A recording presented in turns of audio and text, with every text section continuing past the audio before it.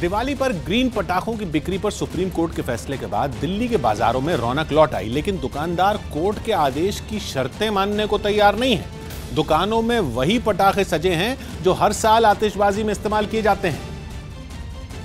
और पटाखों की दुकानों पर ग्रीन पटाखों की बजाय ज़्यादा शोर और प्रदूषण करने वाले पटाखों की भरमार देखने को मिल रही है। हालाँकि दुकानदार ग्रीन पटाखों के बारे में जानकारी नहीं होने का दावा कर रहे हैं। ये मेरे को भी नहीं मालूम ये तो सरकार ये बताएँगे क्या नाम है डॉक्टर हर्षवर्धन भी बताएँगे ग्रीन पटाखे होते क्या कहाँ से आते हैं कैसे आते हैं? ग्रीन पटाखों पर व्यापारियों के साथ पुलिस भी उलझन में दिखी। पुलिस ने बताया कि लाइसेंसिंग डिपार्टमेंट से पटाखे बेचने के लाइसेंस चेक करवाए जा रहे हैं। साथ ही ग्रीन पटाखों के बारे में और जानकारी जुटाई जा रही है जिसके बाद आगे की कार्रवाई की जाएगी। हालाँकि दुकानदार ये मानने को तैयार ही नहीं कि पटाखे प्रदूषण की वजह भी हो सकते हैं बल्कि पटाखों की वजह से आतिशबाजी पर कैंची चलाने पर लोगों ने नाराज़गी भी जताई। साथ ही ग्रीन पटाखों के इस साल बाज़ार में आने की कम संभावना जताते हुए मौजूदा पटाखों के फ़ायदे भी गिना दिए। ये तो दो घंटे चलेगा और इससे डेंगू मलेरिया चिकुनगुनिया इसके बाद दिवाली के बाद दिखाई नहीं देगा। वहीं बाज़ार में पटाखे खरीदने पहुँचे लोग धड़ल्ले से पुराने पटाखों की खरीदारी करते दिखे। अभी नए पटाखे नए पैरामीटर्स के हिसाब से बाज़ार में नहीं आए हैं। दुकानदार भी मजबूर हैं क्योंकि इनके पास नया स्टॉक नहीं है। पिछले साल तो पटाखों की बिक्री पर पूरी तरह रोक लगाई गई। इसके बावजूद दिल्ली में जमकर आतिशबाजी हुई थी और प्रदूषण बेहद खतरनाक स्तर तक पहुँच गया था। यही वजह रही कि सुप्रीम कोर्ट ने इस बार ग्रीन पटाखों का इस्तेमाल करने का आदेश सुनाया लेकिन ग्रीन पटाखों के वजूद को लेकर बहस शुरू हो गई।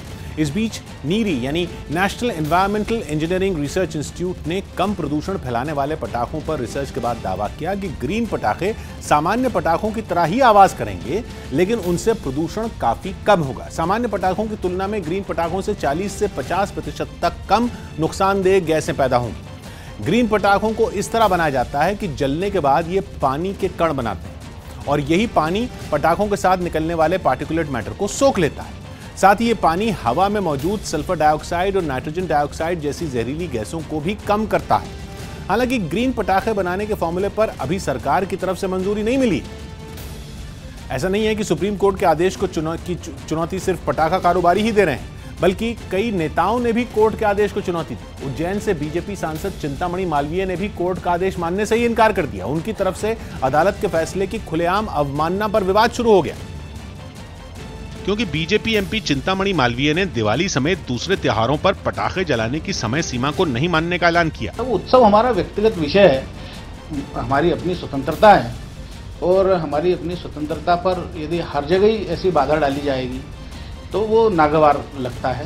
बीजेपी एमपी ने सुप्रीम कोर्ट के फैसले को हिंदू धर्म से जुड़ी परंपराओं में दखल अंदाजी करार दिया। चिंतामणि मालवीय के इस बयान पर कई घंटों तक चुप्पी साधने वाली बीजेपी के कुछ बड़े नेता भी उनके सपोर्ट में उतर आए।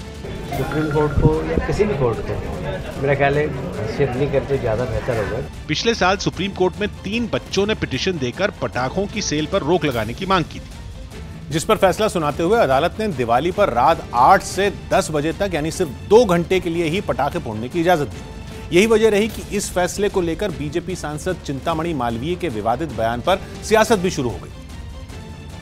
जिसमें कांग्रेस ने कोर्ट के फैसले पर बीजेपी एमपी के रुख के बहाने उनकी पार्टी को ही घेर लिया।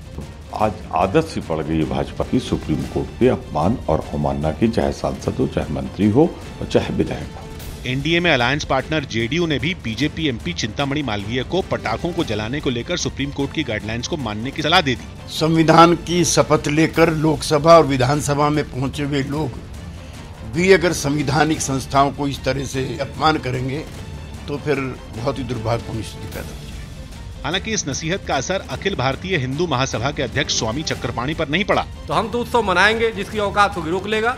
हम फोड़ेंगे पटाखे जिसको रोकना है रोक लेगा। अपने बयानों की वजह से सुर्खियाँ बटोरने वाले स्वामी चक्रपाणी ने तो सुप्रीम कोर्ट के फैसले को हिंदू धर्म में दखल देने वाला बता दिया। यूपी के बदायूं में हुई एक सड़क हादसे में दो महिलाओं की मौत के बाद नाराज़ लोगों ने हाईवे जाम कर प्रदर्शन किया। वहाँ एक तेज रफ्तार ट्रक ने बाइक सवार तीन लोगों को कुचल दिया। जिसके बाद नाराज़ लोगों ने बदायूं, मेरठ हाईवे जाम कर प्रोटेस्ट किया। प्रोटेस्ट के समय इन लोगों ने हाईवे पर बैनर जला दिया।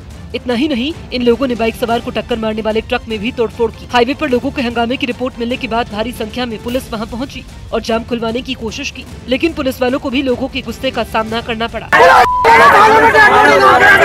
हंगामा बढ़ता देख एसडीएम लोगों को समझाने के लिए पहुँचे। तीन घंटे बाद हंगामा कर रहे लोग शांत हुए, जिसके बाद पुलिस ने दोनों महिलाओं के शवों को कब्जे में लेकर पोस्टमार्टम के लिए भिजवाया। साथ ही गंभीर रूप से घायल बाइक सवार प्रेमपाल को इलाज के लिए जिला अस्पताल में भर्ती करवाया गया।